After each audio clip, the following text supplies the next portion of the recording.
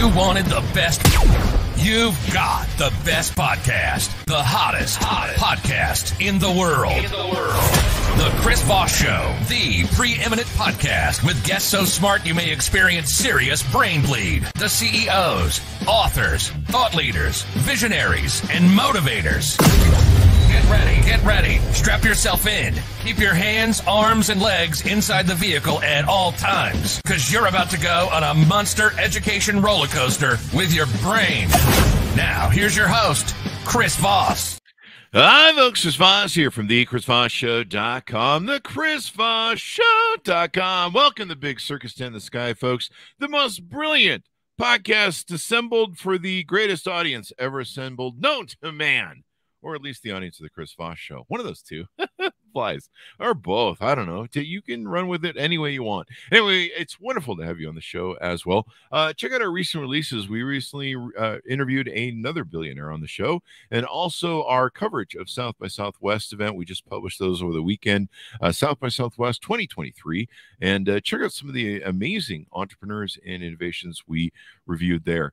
Uh, today we have a returning guest. He's been on the show before for his amazing historical books. He's pretty prolific on everything he does and what he puts out. And he's written a new book called The Collaborators Three Stories of Deception and Survival in World War II. Just came out March 7th, 2023. Ian Buruma is on the show with us today. And he'll be talking to us about his latest historical book and everything that goes into it. I'm pretty excited to learn about this because uh, the more you learn about history, the more you can uh, change history for the future. Ian was born in the Netherlands. He studied Chinese at uh, Leiden University or Leiden University and cinema at uh, Nihon University. Am I getting any of these names correct, uh, Ian? Yeah, more or less. More or less. There you go. Uh, he has lived and worked in Tokyo, Hong Kong, London, and New York, and he is a regular contributor to Harper's and the New Yorker and writes monthly columns for Project Syndicate and Bloomberg. He's a professor at Bard College and lives in New York City. Welcome again to the show, Ian. How are you? Very well, thank you. Great. Awesome sauce. Uh, give us a dot com or wherever you want people to find you, get to know you better on those interwebs in the sky. I'm sorry, I didn't quite quite hear your question. Uh, if you could give us a dot com or wherever you want people to find you on the internet. Oh, I see. Okay. Uh, all right. Um, uh, Buruma, B U R U M A, at bard, B A R D dot com. There you go. So, what motivated you to write this latest book? Well, the, I was interested in these three characters, and I'd known about them for quite a while. Um, mm. uh, they're fairly well known in, in different uh, parts of the world. Um, and I've also been interested in, in the idea of, the, of collaborators and collaboration with, um, with bad governments or country, countries under occupation. I was born in December 1951 in the Netherlands, as you mentioned and uh, Holland had been occupied by Nazi Germany uh, during the war, and so I grew up very much in the shadow of that war. Mm. And when I grew up, the myths um, were that you know every teacher at school had been a brave resistor and so on, and we knew that we couldn't go buy candy in a certain store because the woman who owned it had had a German boyfriend. So mm. the distinction between good and bad was very clear. And later we realized that things were not quite so clear cut. And I, I, I find it in, in some ways more interesting uh, to figure out why people fall for the temptation of collaborating, doing something bad, than to be a hero. There you go. And, uh, you know, we had you on the show for, I think it was the Churchill Complex. That's uh, your book, and you've written a lot of books about history. How many books do you have in your library so people? Well, I, I, have no idea. I've never counted them. They're quite a lot. I couldn't count them either. Too many. So. I, I, I need to get rid of them. I don't have space. Oh, there you go. Well, uh, Amazon evidently has plenty of space. There's uh, 41 titles according to them, so people can go there and order your other stuff as well. Uh, so the collaborators are these villains in history? Then are they good guys? Uh, and, and well, the way they're well, they're certainly they cooperated with villainous mm. regimes. Mm-hmm. Um, whether they're personally completely villainous or not is is a harder question to answer because most human beings uh, not 100% bad and not 100% good. It's a spectrum. Some people are worse than others, that's for sure. And so the choices they made uh, were certainly bad. Mm-hmm. Um, but simply to condemn people as villains doesn't make them very more interesting, and it doesn't al- allow the reader or, or indeed the writer uh, to come to a greater understanding. There you go. There you go. So, uh, give us an overview, a 30,000 foot overview of uh, who these folks were and uh, what's inside the book. Well, one of them was um, Himmler's masseur, and he was born in Estonia. He had a Finnish passport, and he had magic hands. And he massaged the, the, the rich and famous before the war, mostly in Germany, but really all over Europe. Mm-hmm. And um, Himmler had terrible stomach cramps. Himmler was, of course, the head of the SS. And um, Kersten, that was his name, Felix Kersten, was the only one who knew how to relieve his pain. And so Himmler made him into his personal masseur. Hmm. Kersten later claimed that this was against his own will and so on. Not so likely. I think he liked, he was a sort of natural servant to the, the rich and powerful. He liked mm. being close to power. He liked being a man of consequence, of influence, and so on. And um, after the war, um, it, it, he still he wanted to once again become the masseur of the rich and famous, but having been Himmler's personal masseur was not the best calling card. Yeah. So he embellished his war record and claimed that he'd been a great resistor. Now, some of that ah. was true in the sense that he sometimes um, asked Himmler to release people from concentration camps in exchange for relieving him of his pain. And at the end of the war, Himmler was trying to make a deal with the Allies and was even prepared to release some Jews from camps. And Kersten played a kind of role as a middleman. But after the war, he, he embellished this and uh, he had been much closer to the Nazis than he claimed. The second person was very different but also somebody who wanted to be important and cleverer than everybody else and well connected and so on.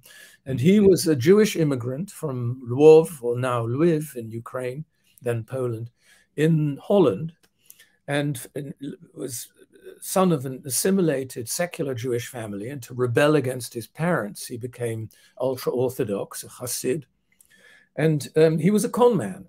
Um, and he when Holland was under occupation and the Jews began to be deported to the death camps, he claimed to have lists, and then in exchange for payment to Friedrich Weinreb, that was his name, you could get on his list, and, and he promised that you would be uh, on the train to safety in Switzerland and Portugal and, or, or Spain, and the list would be backed by a German general. In fact, the list was completely made up. There was no such thing. Mm. Nor, did, nor did such a general exist. It all came from his imagination. And wow. he too um, had a checkered career. He was arrested by the Germans, then released, probably cooperated with the Germans, betrayed people, ended up having to go into hiding himself, survived the war, was tried as a fraudster and a traitor after the war, um, spent a few years in jail, but then in the 60s became a kind of counterculture hero. And he was taken up by the the, the sort of student rebellions that were taking place in Holland, just as they were everywhere else. And he became a kind of hero who resisted the establishment quite wrongly. This was a myth, but in any mm-hmm. case, that was his role after the war. Third person um, was a Manchu princess, so born in China, um, at the time of the revolution, when the Qing dynasty, which was was, was a Manchu dynasty of the Manchu um, aristocracy, uh, fell, and she was adopted by an ultra nationalist in Japan, and she collaborated with the Japanese, hoping that the Manchu, that the Qing dynasty would be revived. She was also a cross dresser. She had bad experiences with men and sort of dressed up in male uniforms and became a legend during the war in Japan. There were fictional biographies of her life, there were movies about her. He was arrested um, uh, by the Chinese after the war um, as a traitor and executed. And one of the oddities of the trial was that they used a lot of those things that were made up about her with her own uh, connivance during the war against her as evidence. So, what ties them all together is that they all used extreme circumstances of war and occupation to play roles that were bigger than they really were. Uh, and they were fantasists. They were they were the authors of their own creators of their own myths. There you go. So this is an interesting story. Did did the three of them collaborate with each other at all, or they no, just collaborate they, they with the enemy? Known of each other's existence. There you go. There you go. And, and what made you, the three of these stand out to you, and, and the reason you chose them? Well, one of the things, as I said, that they had in common was this uh, tendency to to make themselves up. I mean, mm. extreme circumstances, and even when they're not so extreme. I mean, take the the four years under Donald Trump, when truth goes out of the out the window, mm. people can start making up whatever they like. Mm-hmm. Um, being under a, a, foreign occupation, being living in a dictatorship, and so on, collaboration, of course, allows you to do that. It allows mm. you to. Mm. It allows second-rate, third-rate novelists, uh, doctors who've been struck off for uh, uh, acting against the rules of medicine, um, failed poli- politicians, and so on. They have their chance to reinvent themselves. Mm. And um, uh, so the Trump years, in some ways, uh, although I don't refer to it directly anywhere in this book, but it were um, a spur to to write about people who who who are well the authors of their own fake news, if you want to put it that way. There you go. There you go. Interesting characters uh, that are uh, from real life. Um, so, what kind of research did you put into it? How hard was it to track these guys down, understand them? Uh, and and find out the history that went behind them. Well, you obviously couldn't interview them, um, and not many people who knew them are still alive. Mm. But they wrote, uh, they all wrote memoirs, um, mm. not reliable ones. Other people have written about them, uh, also not always reliable. So, in a way, the book is not only about trying to find out what actually happened; it's mm. also mm. a, a way to describe storytelling. I mean, what people make up and why. Mm-hmm. Yeah, I mean, I I I identify as a plant, uh, as a I think a palm tree. I think of that. Well, then you are a palm tree. I am a palm. If that's the way you feel, then you have them. well, you know, I, I think some people in my audience might think that. Uh, that dude's a tree. So clearly he's faking being Chris Voss. Uh, we all know that's probably true.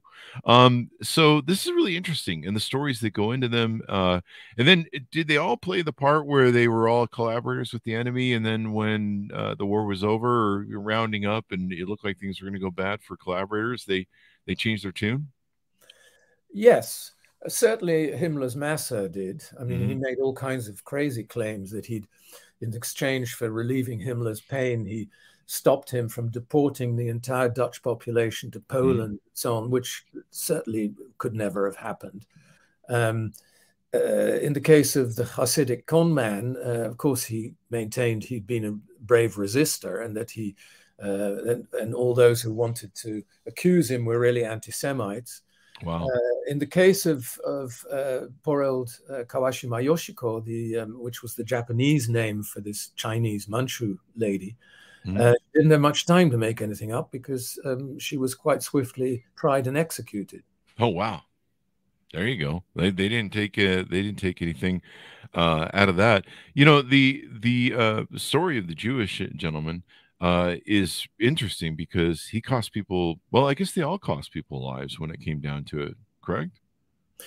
Uh, hard to tell about all of them. I mean, the Masser really? itself did not was not responsible for anybody dying. I mean, he he was responsible for making uh, the life of a mass murderer more comfortable. Mm. Um, but you can't really say that he actually was responsible for the murder of anybody. Oh. Um, Weinreb, the the Hasidic conman, certainly was. I mean, he did betray uh, a number of people. We'll probably never know quite how many uh, who ended up in death camps and dying. Um, the case of Kawashima Yoshiko, again, the the, the, it's so hard to separate myth from reality. You're not, you can never quite be sure. But she did play a role in military operations and spying and so on uh, for the Japanese in China. That she probably did have some blood on her hands. But how how how much her hands were covered in blood uh, is very is is hard to tell. There you go. Did, did any of this involve money, or was it just uh, it was ascension to want to be around power? And uh... Uh, it, it, it it did involve money. Mm-hmm. Uh, it certainly involved power. Um, Weinreb, the, the fraudster, took money, of course, from people Mhm. to be on those imaginary lists and made quite a lot of money out of it. Um, uh, uh, Himmler's master, Kersten, was certainly well paid. Um, I don't think the, there was a huge amount of money. I mean, the, the, Kawashima Yoshiko certainly took money from Japanese military officers and so on, but I don't think she enriched herself. Mhm. She lived comfortably, but money probably wasn't the main objective of any of these three. I think Mm. they wanted to be they were they were insecure people Mhm. um, who were all children of collapsing empires Mhm. who were not entirely sure where they belonged and um, wanted to be important, wanted to be um, near power, wanted to um, play a role on the big stage. And I think that was probably more important to them than simply uh, getting money. If, if money were the only objective, it would, it would have been much less interesting as a study of, of character. Would you frame them as narcissists Yes. in their chase for the thing? So Yes, I think I think all self-invented characters who make up stories about themselves and so on are, are narcissists. Absolutely. yeah, they have to create that facade of of ego and and uh, success and and everything else. Uh, so did did they come from broken childhoods? Was it, did you find there was any sort of instigator in their upbringing? I That, th- th- well, um, Kawashima Yoshiko, the the, the Manchu, um, certainly came from a broken childhood. I mean, her her her father more or less gave her up uh, for adoption to this wow. ultra nationalist uh, man in Japan. Mhm. Um, she was probably abused by her stepfather and also by uh, had, had unpleasant experiences with other men, which Mhm. may may have been one of the reasons she decided she was going to be the Oriental, as she put it, the Oriental Joan of Arc and dress up as a man and so on and so forth. So she certainly had a very unfortunate childhood. I'm not sure in the case of the Masser, uh, his childhood accounted for anything he he, he later did. There you go. There you go. So it's interesting you picked this three these three people out of history, and uh, what do you hope readers come away from when they read the book and and uh, and learn about these three individuals? Well, I, I'm not the kind of writer who who writes a book to give people one message or a takeaway or something like that. Mhm. Um, I- there are various things you try and achieve, or you hope that the reader gets out of them. One is they're good stories. Yeah. Uh, you learn something about these characters and therefore about human nature, and at the same time you learn something about the history they lived through. So um, I think all those uh, things, uh, and also the dangers of letting go of the idea that truth matters. I think if there's anything um, uh, that I, I try to stress, it, it, it's that that truth does matter, that it's not relative, that um, you can't just make things up unless you're doing it deliberately as a work of art. I mean, that's another thing, of course. Sure. Yeah, you're just making art at that point. Um, you know, do you see parallels between their stories and the villainous uh, aspect and narcissism and and and sometimes evil uh, with you know, like for example, what's going on today with the U- the Ukraine war? I mean, we have one man who's decided to just muck up the whole world because he's I don't know, he's either delusional or or uh, cancer ridden or health ridden or at the end of his days and he's decided to go out with a bang um, do you see any parallels between that Yes, and I- what I we can learn from history Yeah, I see various parallels. One is the the, the how difficult it, how many gray areas there are when it comes to collaboration. Mhm. Um, uh, I remember a piece, I think, in the New Yorker not so long ago, which was fascinating about collaboration in Ukraine. And Mhm. so you have a, a, a town in the Ukraine that gets taken over by the Russian by the Russian army, and then there are people who decide it's necessary to collaborate with the Russians in order to feed people, for example. And they're not, not necessarily because they're on the Russian side at all, but people still need to be fed. Life goes on. Survival. Ukrainians take the, the town back, and these people are then often arrested as wicked collaborators. Well, there it becomes very complicated. So I think there is a parallel uh, there.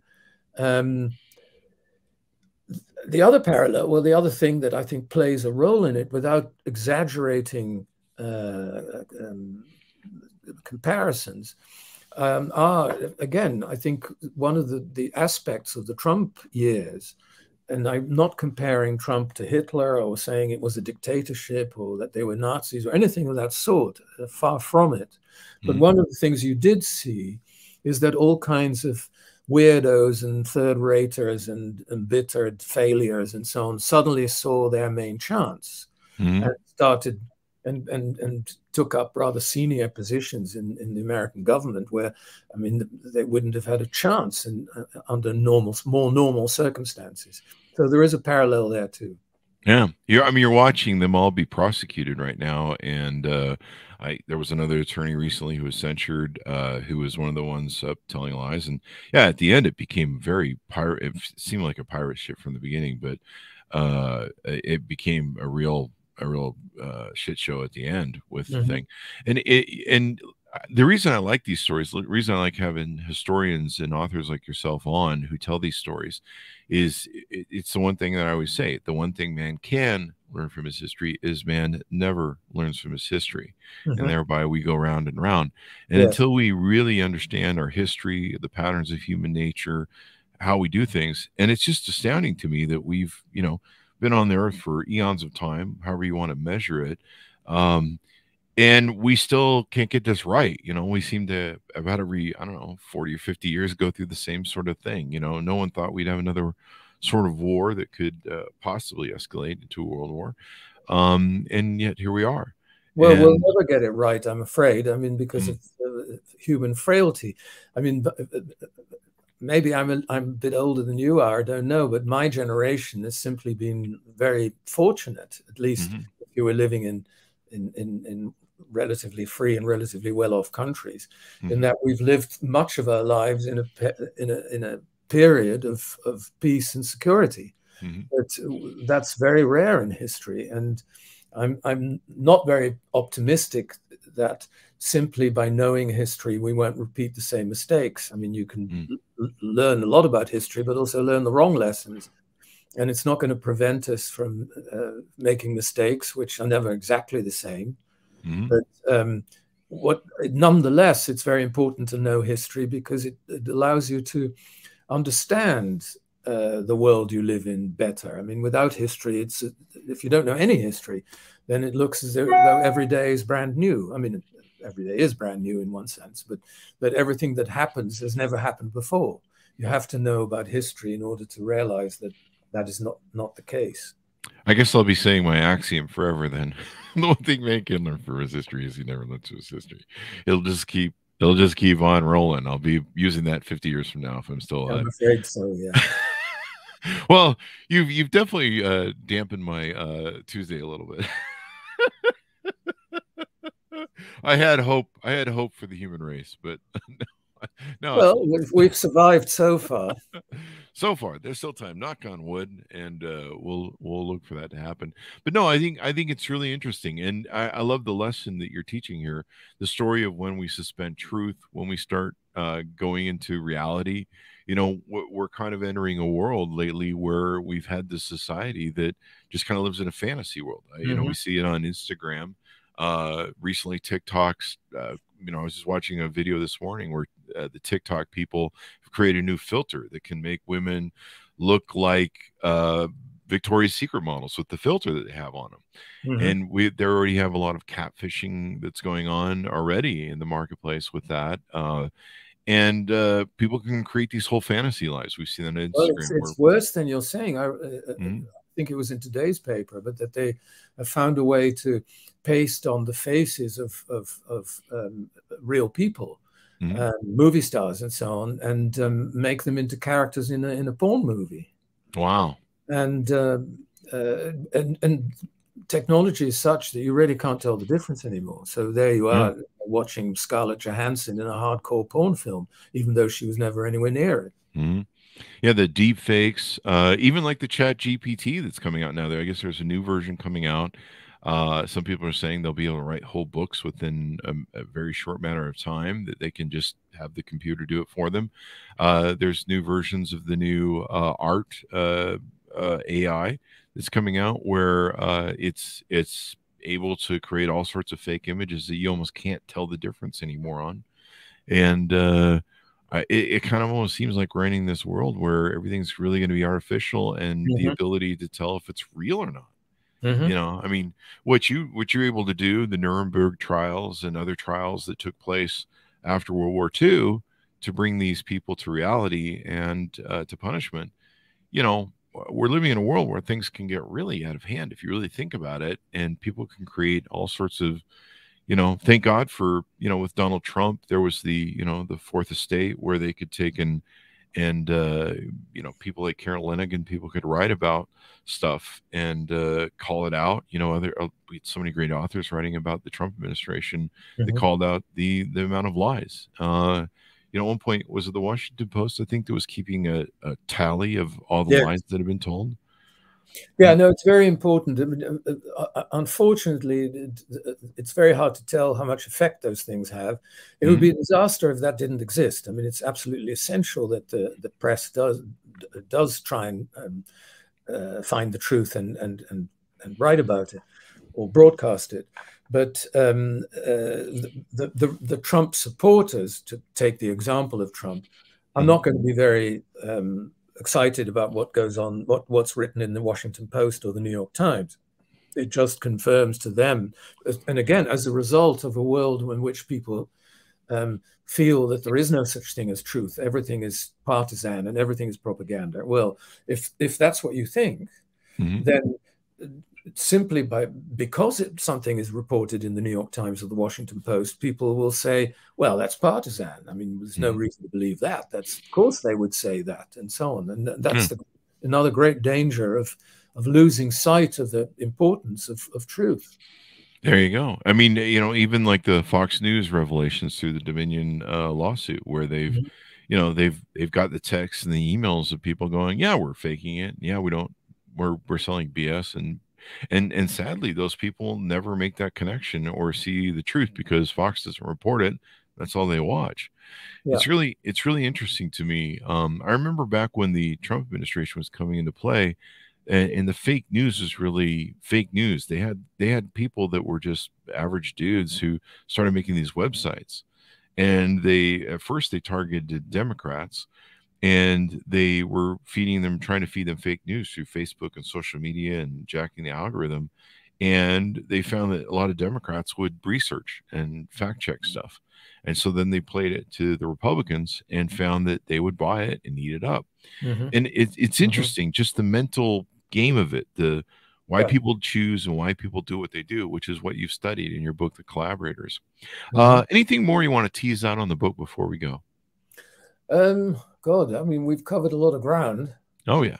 Um, no, I think we can leave it at that. Really. There we go. There we go. Um, so uh, it's been wonderful to have you on the show, Ian, and Thank see you. you. again. I'm glad you're doing well, and we'll look forward to the next 41 books that you. Thanks very publishing. much. It's not 41. I think you're exaggerating. But, I I'm but, taking uh, that off Amazon, so no, there may no, be some I, revision. I, I think uh, it's more like 14. I think. But Is it 14? Well, not 41. That's for sure. I uh, but I'm taking that from Amazon, so maybe okay. they bent the truth. You know, right. Amazon people over there. But I think those are for like revisions and maybe putting out in I other see. languages or something maybe. like that. And it may be counting like the Kindles and the audiobooks. That may oh, oh well, that, in that case, maybe, yeah. Yeah, that's most likely what it's doing. So, but I, you know, I I tried to pump you up and give you that uh that sort of. well, thank you. so, but uh, uh, thank you for being on the show. We really appreciate it. Not at all. It was a pleasure. There you go. And thanks, Amonis, for tuning in. Be sure to pick it up wherever fine books are sold. But remember, stay out of those alleyway bookstores. They're kind of dangerous, and you might need a tetanus shot if you go into some of those alleyways and check it out. Order up the book wherever fine books are sold. The book is called The Collaborators Three Stories of Deception and Survival in World War II. Came out March 7th, 2023.